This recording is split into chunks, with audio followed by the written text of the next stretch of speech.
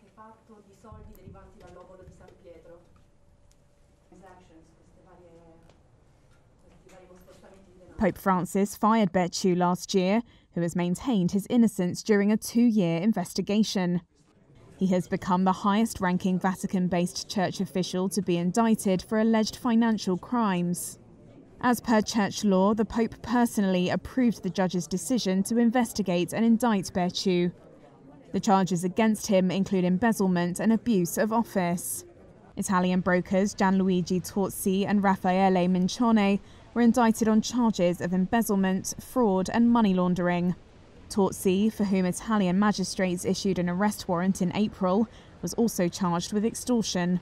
Both have denied wrongdoing.